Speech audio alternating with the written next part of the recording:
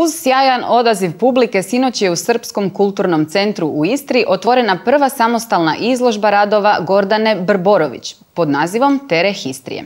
Izložba je otvorena u okviru manifestacije Dani stvaralaštva koju organizira udruga Art Studio.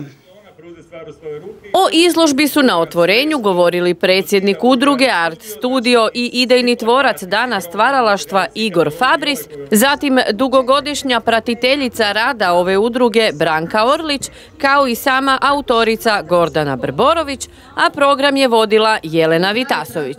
Izložba Tere Histrije nastala je prema riječima autorice slučajno, odnosno igrom različitih boja gline. Dobila sam nekakav e, pejzaž, nekakvu e, lijepu igru na, ispred sebe i podsjetilo me na, na pejzaže koje se mogu naći u Istri, odnosno na zemlju, zemlju radi ovog intenziteta boja koje se dobiva visokim pečenjem u, u peći.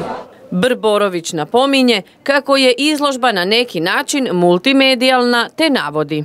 Od mirisa koji su unutar vaza, mirisa svježe ubrane lavande i svih, e, svih mirisa koje se mogu pronaći u, ovaj, u na području Istre, e, znači od keramike u, raz, u razno raznim formama i oblicima, do fotografija, detalja i, izlo, i fotografija Istre koje sam fotografirala zadnjih četiri godine. Od predsjednika udruge Art Studio doznali smo da je izložba prvo dobila naziv, a tek nakon toga su nastajali radovi. Prije jedno dvije godine, otprilike e, Goga je igrala se s različitim bojama gline i dobila, ne znam su bili tanjuri, zdjelice, više se ne sjećam šta je bilo, uglavnom dobila je nekakav osjećaj ko nekakve zemlje, slojeva zemlje.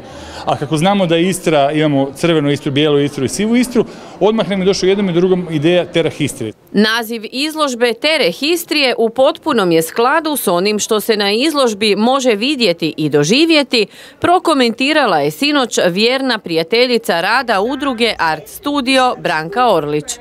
Taj njene boje, to što se glina zapekla i stvorila tu jednu abstrakciju koja se malo nazire figuralnost, toliko je lijepa, podsjeća doista o istarskoj zemlji, o boji istarske zemlje o kojima sam govorila na samom otvaranju, od one bijele ispod učke do sive boje u sredini, boksitne crvene na kraju i jedan mali dio kod Brtonigle crne zemlje. Orlić je posebno pohvalila predmete izložene na izložbi koji imaju kako umjetničku, tako i uporabnu vrijednost, obzirom da je riječ o zdjelama, tanjurima, lusterima i vazama.